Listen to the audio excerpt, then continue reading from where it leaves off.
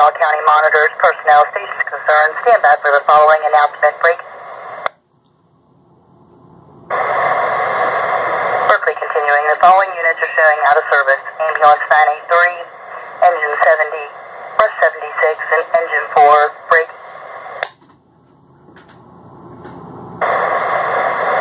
Berkeley continuing, the West Virginia Div- Division of Highways advises upcoming road work on Gerrardstown Road, Route 51, and Winchester Avenue, Route US 11 and Inwood, beginning on August the 10th. Break.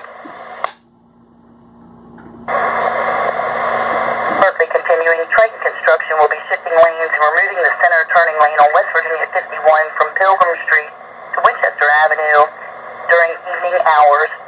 Triton Construction will also be widening the roadway on the east side of US 11 from Gerrardstown Road, West Virginia 51 to Sater Drive during the morning hours. Break.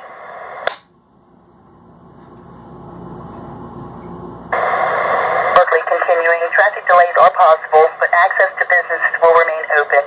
Access to Cedar Drive from US 11 may be limited during morning hours. This work may last several months and is part of the Inwood Bypass Project to widen West Virginia 51. Berkeley clear to the NGG 419.